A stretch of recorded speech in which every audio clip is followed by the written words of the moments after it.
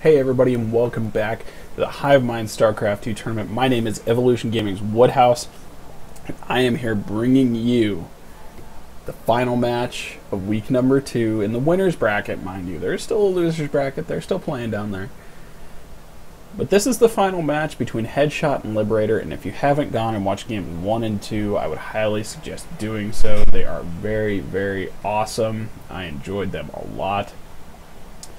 First game was played on Belshir Beach. Second game was played on the Shattered Temple. And like I said, go check those out. Go do it. If you haven't and you're watching this right now, turn turn this off and go watch it. So without any further ado, let's actually take you right ahead into game number three.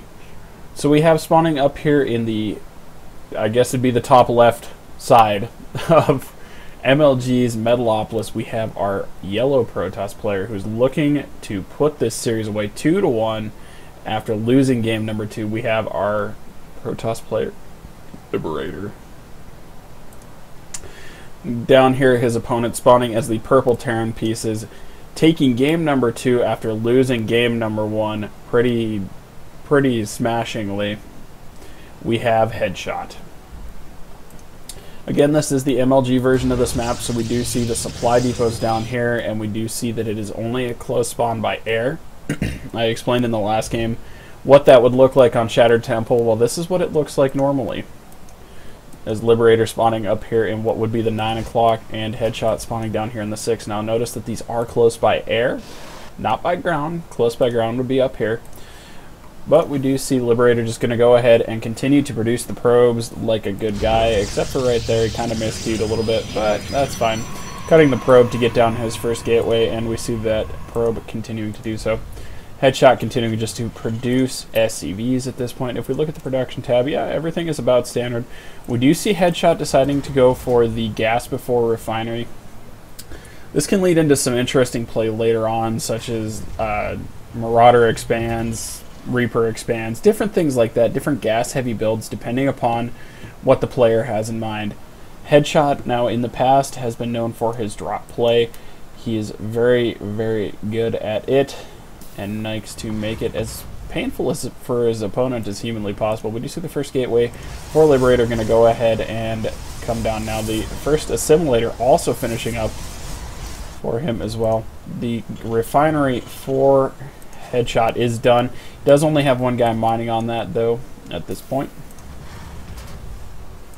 Do see the barracks just about done as well.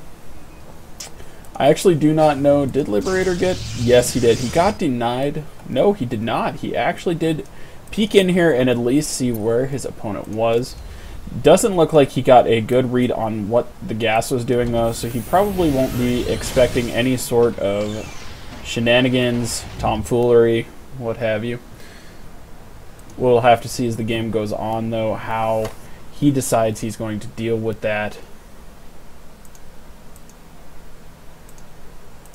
At this point, literally both players looking like they are content just to go ahead and continue to macro up like good little guys. We do see three SCVs finally put onto the refinery of Headshot. Second gateway now coming out for Liberator as well. Supply right now is actually dead even, and the overall cap advantage goes into the favor of Liberator as well, throwing down his third gateway. Chrono boosting the warp gate out. We do see that is about 45 seconds done. Headshot going to go ahead and tack down a second barracks here. That barracks is actually almost done. I'm a little late catching that. I'm sorry. I do see the second refinery going down as well. So apparently he has something specific in mind, whether that be for very, very early medevacs or what have you. We do see the tech reactor going down. Or the tech lab. Wow. Looking like he's going to go ahead and just produce some Marauders out of that once that finishes. He does have more Marines working their way out of the unreactored barracks. Continuing to produce SCVs, though, that is good. He is only down to one SCV on that refinery, though. It is kind of looking like Liberator is going to go for some three-gate pressure here. He has yet to take the second geyser, and that second geyser for Protoss is kind of an indicator of what you decide to do, depending upon how early or late you actually end up taking it. And at this point, like I said, he still has yet to take it. Do see two pylons going down as if he wasn't, if, as if he was supply blocked. Two more going down. He's just getting ready for the mass warp in action. We do see a factory also going down now for Headshot, as well as Stim coming out. And he does have one Marauder out on the field right now. That Stalker is going to be very, very unhappy should he be on the receiving end of a concussive shell. At this point is still unupgraded.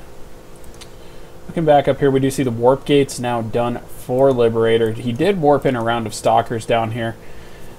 I like this pylon placement a lot. He could have maybe hidden it a little more and stuck it down here so that he had all of this to warp in on and just defile the Meg statue. Another warp into Stalkers coming up. This is actually going to be kind of tricky. Attacking up a choke point against a Terran is kind of scary. Now we do see it, the push coming in, deciding to target that down instead. Oh, this is not good at all. Losing one Stalker, actually losing a couple in that engagement. He is down to five. I believe he had seven at one point, warping in another one to replace it. As we do see now, he is not. He has put his second assimilator down, but is not mining out of it. You can see up here by his gas income that he is limited, and that's what I was a little bit worried about to begin with. Right now, supply's actually dead. Even that's SCV going to go ahead. Oh, and he does not have high ground vision. He needs an observer of some sort or those zealots to go up there. Oh, but instead, leading with the Stalkers, that's not a good move at all. Going to drop one down to 44 HP. Now, mind you, these units can shoot down, but these units of Liberator cannot shoot back up because of the changes of sight. Things like that, they cannot shoot back up. We do see another Warpin coming in for Liberator. I would like to see him expand behind this. He has his army out here, you know, basically pressuring Liberator, or Headshot. And by virtue of his army being there, he can actually go ahead and expand behind this. At one point, he had the money, and it looks like he's going to continue to have around the right amount of money to do so. His economy is still flourishing. He is continuing just to produce probes, getting the mass queuing action on there, deciding correctly this time to go ahead and it looks like lead with the Zealots, which, like I said before, is a good idea, so that they can soak up that damage so that the heavy hitting Stalkers can go ahead and do what they need to do. And we do see now, just as I had suspected, yep, that is a lot of Marauders, though, to be attacking into. Especially with medevac support here, that is very, very dangerous, and rightfully Liberator does back off. We look at the supply now, 51 to 49 at this point. It's actually really close, but Liberator still has not expanded. Like I said, he had the money to at one point, tacking on one more gateway, and actually this is about the extent of what he can produce off of. This is one base, but it does look like he is going to go ahead and throw down a robotics facility anyway. That is going to severely hurt his economy in the long run. As I've said before, and I will say it again, three buildings, maybe four, is the max you can support off of one base. As you can tell with a four gate, and we do see the attack coming back in up here. One tank is out, going ahead to kill the neutral supply depot. As I've said before, though, three gates, maybe four, or three gates in a robo is really all you can support. We do see the attack coming up. He wants to pick that off, but I don't think he's ever going to get it. We do see the siege tank sieging up now to provide some cover for that ramp. So yeah, like I said, I would like to see an expand here. I would also like to see Headshot expand. He has a metric ton of money. And it does look like he is throwing a command center down. He could also stand to throw down. Okay, he is throwing down two more barracks. I could actually use more. 16,000 minerals in the bank is a heck of a lot to have just kind of sitting around. I'd like to see him throw down some more barracks, but we'll have to see if he has something very, very specific in mind for this. No upgrades on the way for either player at this point. We do see Combat Shield just about, well, it just started. Never mind.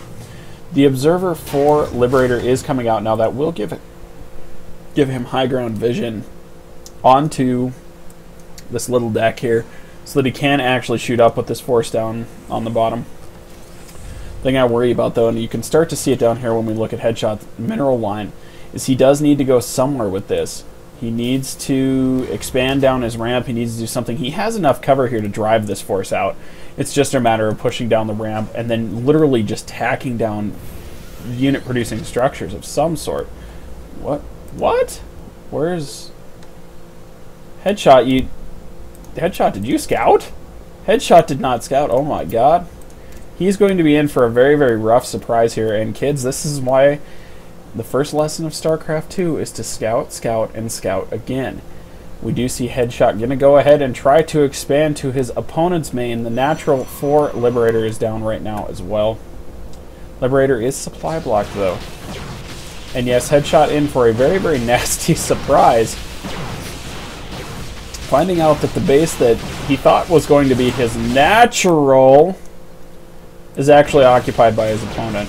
He kind of shit the bed on that move just a little bit, I think. Um, you know, we've seen Headshot go ahead and try and do this, and oh no, the command center is burning. That's going to be a huge investment if it goes down. He needs to get that across here to his base to get it repaired. But oh no, Headshot, that's no! Headshot, that's 400 minerals plus the 200 in SCVs. Headshot. Oh no, this could be disaster. Oh, and he does get it there in time. We were about to see a 500 mineral kill by these stalkers of Liberator But like I said, Headshot kind of kind of wetting himself there when he did see the main of his opponent who is not using Chrono Boost at all. He did see the main of his opponent where he was looking to expand instead of his natural. And again, he is also not dropping the mules. He could have a lot more economy, but yeah. He does scan down here to see that there are units that he can come down and kill. And he does rightfully decide to do so. Oh, but he needs to protect those medevacs. Those medevacs are huge, and one goes down. Is two, are they going to get two? He needs to get a better concave. The concave at this point going to Liberator. As we can see, the units just getting slowly picked off. And there we go. He finally did move everything down and is going to win this battle pretty easily, moving down. Now the question is, is he going to take his natural? That's become like the million dollar question is will the players take their natural? It's not just him. We've seen some hidden expos that have gone pretty well. And for those of you who don't know what I'm talking about, definitely go look back at games from week one. There were a couple of proxies that were mm, maybe a little bit less than questionable. Oh, and we do see that one stalker probably going to get... Oh, and ooh, he took a siege blast right to the face. And I, I'm going to go out on a limb and say Headshot wants this expansion, even if he has to take it from his opponent. You see the nice stalker lineup by Liberator. Going to go ahead and pick off those medevacs as they come in. Ooh. Yep, okay, he does get the drop off in time. Gonna go ahead. That is a big drop for not that many stalkers back. The Immortal just hanging out out here. Oh, and that is not good for Liberator at all. Headshot just continuing to pound away at his opponent. Again, we do not see this expansion command center moving anywhere at all. Taking out the Cyber Core, that means no more Stalkers. That means only Zealots at this point for Liberator. Liberator supply dropping like a lead balloon warping it around at Zealots, but that's not going to do much good. Oh, and two out of the four gateways get unpowered. Pulling the probes to try and deal with this. And it was less than super effective. Taking out gateways, now Headshot is just continuing to clean up what he wants to be his expansion. But if he wants that to be his expansion, he's got to fight for it, and he is doing exactly that. Taking out the robotics facility now, continuing to just wail away. This Nexus is just about next. We do see the probe train from Liberator coming to expand to not the ideal location for an expansion, but he'll take it because it's kind of hidden. We'll, we'll, we'll accept that. We do see a Headshot going to go ahead and just continue to clean up the main base of his opponent. 25 food to 84 at this point. Liberator completely abandoning his post down here in his natural. Going for the hidden third base, which I guess would be like expanding to his new main. I don't know how you want to put that, but it's going to be an interesting battle from here on out. We do see the forces of Headshot continuing, like I said, just to clean up the buildings of his opponent. And at this point, I, you know, to be honest, I don't think there's a whole lot Liberator can do at this point. He has abandoned one post. He is dropping down a bunch of gateways and whatnot. I'm still waiting to see this expansion move headshot, and I'm... Oh, there we go. Is he gonna... Is he gonna... Where? Headshot. Head... Headshot. You... Headshot. Head... Headshot. Buddy. You... I don't I don't know what to quite make of this. Like I said, we've seen a lot of proxying bases and hiding quote unquote of bases, but this is actually a first where I actually do see a player that on more than one occasion, has kind of refused his own natural. We'll have to see how this plays out through the rest of the game. But at times, we do see that hidden expansions do work. Just ask Liberator. Bazing. And I'm sorry, guys. I am I'm poking a little bit of fun here, but this game is actually kind of wild at the moment. It's got my blood pumping quite a bit, actually. I do. I want to see who wins this. We do see the uh, replacement cybernetics core coming down now for Liberator as well. Over here in his, we're going to call it his refugee main. Over here on the top right hand side. So now the players, instead of spawning cross position to begin with, now they are cross position from where they were. And Headshot does scan the expansion. Sending the SCV train down here to heal the planetary fortress. Looking back up here at Liberator, continuing just to do the warp in action so that he does have units when that attack does come. He is at 38 supply of 42. His opponent headshot is at 124 of 126. Excuse me. Do you see a couple more, or a Gateway and a Twilight Council going down now? I don't know how effective the Twilight Council is going to be with no gas geysers. Although he is sitting on a metric ton of gas income from his main that was demolished. And at this point, it looks like Headshot is just kind of content to chill out here and wait for things to happen. Planetary is done at his natural and he is deciding to lift back just in case. Putting together another Doom drop, Headshot is getting ready to deliver the final blow to his opponent, Liberator. We do see Liberator still has not taken either one of the gas geysers in this refugee main of his. See the Observer chilling out here to make sure that no expanding can happen at his natural.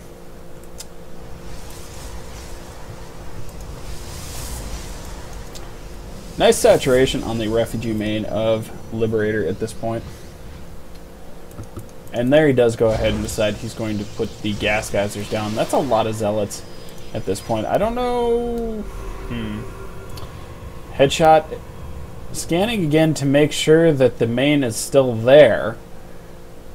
This one probe out here for scouting, and there it is. There's the Doom Drop. Looking to clean up his opponent. We do see... Oh, is, is Speed going to finish?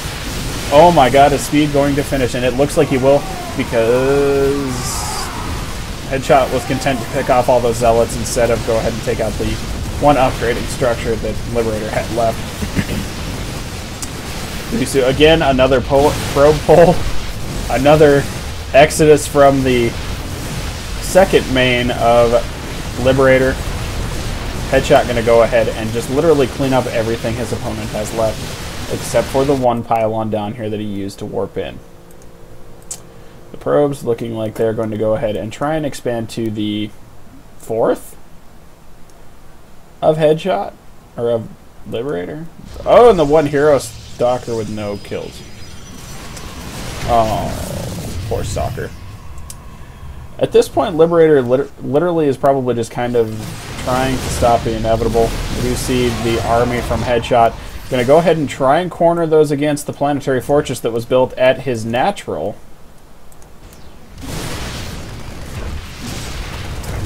And we do see some of those probes getting picked off. Liberator going to go ahead and just kind of dance around here for a little bit. See the one gas geyser still up here for him as well, and the hidden pylon. And now it looks like Headshot is just content to sit and heal up because the probes and the one zealot are going to just kite him all day. I can I can see this coming.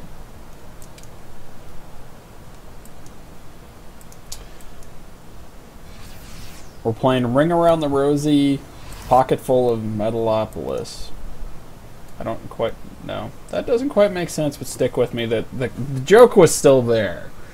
Okay, it may not have been comedic gold, but it was at least comedic bronze. So Liberator coming back up here to what was his refugee main. And I guess you would say, let's see, that's one, two, three, four. This would be his fifth. So I guess this would be the fifth for Liberator going down now. Right now, Liberator is sitting at 11 supply. It was 11 of 8 there momentarily, but if you noticed it just quick enough, it was 11 of 8. So there actually is no capability for Liberator to go ahead and make anything at this point. He needs to tack down a pylon, actually needs to tack down two pylons, to unsupply block himself from the perpetual supply block of Doom. Headshot just correctly making sure his opponent did not take this base. And scanning the fifth of Liberator to make sure that that's where the Nexus actually is.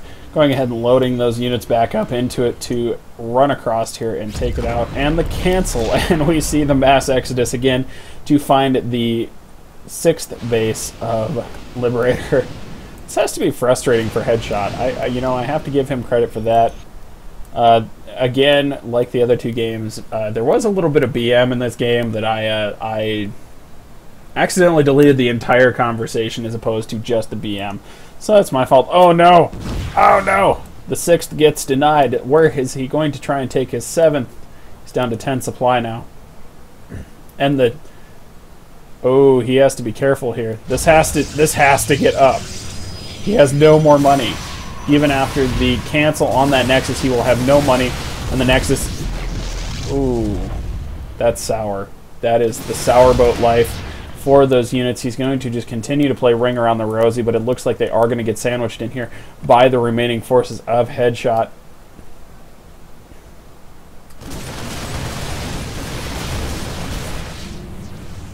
And at this point, actually, I don't know why Headshot just doesn't come back here and kill that assimilator.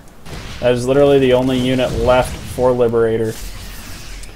And I actually do expect to see a GG at any point. Now, this game this game actually has probably been a GG for about five minutes, but Liberator definitely giving us some comedic relief on his way out. And by out, I mean his trip down to the loser's bracket, in which he will play next week. I'm not sure who he will play, so definitely make sure that you keep in check to see who does what. We do see, eh, you know, for being revealed, that that is like the hero assimilator keeping this game going. We do see the units of Headshot going to go ahead and pull back to go kill it. Like I said, right after that, it becomes a matter of you just don't have any buildings. What? What is he? What? He has no money. He has knobs. I'm Gonna go ahead and just kill that assimilator, and that should be a GG inadvertently from Liberator. Like I said, Liberator, thank you for the, the comedic relief at the end of the game. It was a hard-fought series between these two players, though. I will have to give them that. So we congratulate Headshot on moving on to the next round of the Hivemind StarCraft 2 tournament. Again, my name is Evolution Gaming's Woodhouse. Be sure to check out the rest of these VODs as they come up and come ready on YouTube. And if you're having any questions about how things are being run, what's going on with the MSU Hivemind, go to facebook.com. I know most people have it. And just search MSU Hivemind and see what happens. You'll find the magic that is the MSU Hivemind. So with that, guys, thank you for watching. I will see you next. Well, I'll actually see you in a